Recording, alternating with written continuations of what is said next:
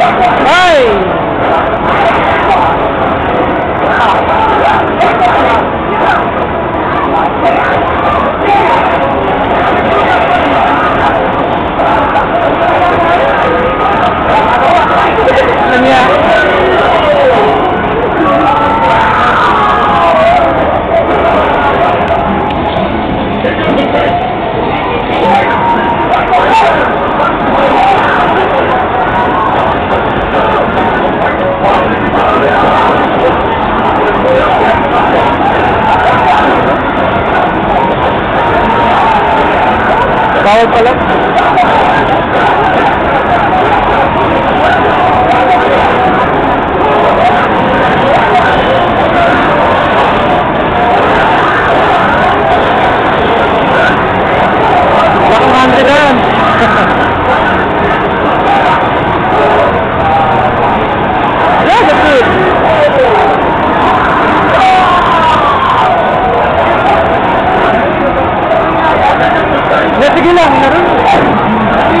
balik tapi balik kami.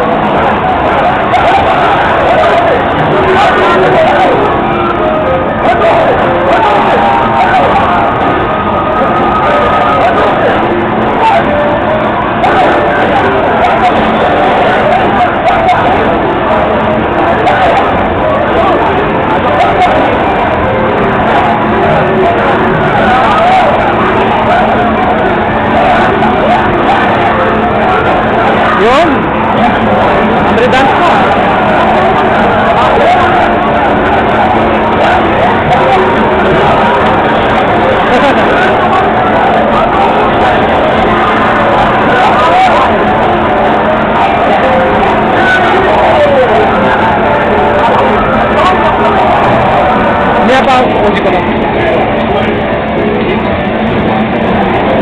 you.